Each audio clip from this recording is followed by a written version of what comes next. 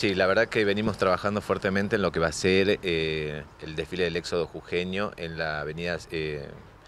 de la, en la avenida de los estudiantes, en la ciudad cultural,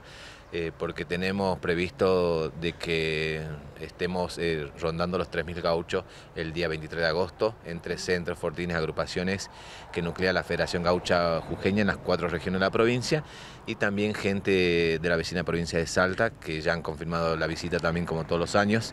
y esperando bueno, a todos, ¿no? Eh, coordinando también con el municipio, con provincia,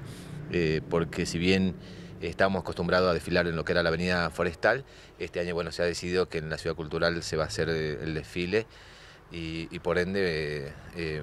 como todo nuevo escenario, también se plantean eso, esas inquietudes. Hablando de la logística, ¿favorece o no? ¿Tiene ventajas o no? Eh, mira, eh, tiene ventaja para la gente que viene del norte, que en su mayoría la gente Guerrero, de Yala, Los Nogales, eh, de acá también de la parte de la zona de Chijra, de Corral de Piedra,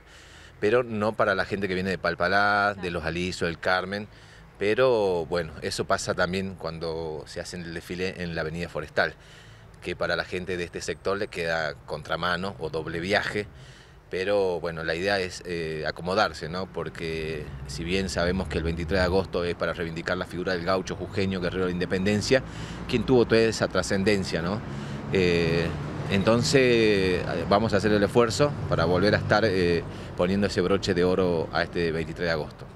Bueno, lo decías, es muy simbólico el desfile de gaucho por todo lo que significó y toda la proeza de los gauchos de antaño para poder tener hoy una Argentina independiente. Tal cual, lo reconocen los historiadores, el gobierno local eh, y nosotros también desde la Federación Gaucha Jujeña queremos eh, darles importancia, ese valor, es por eso que estamos trabajando con las 83 eh, instituciones que, van a desfilar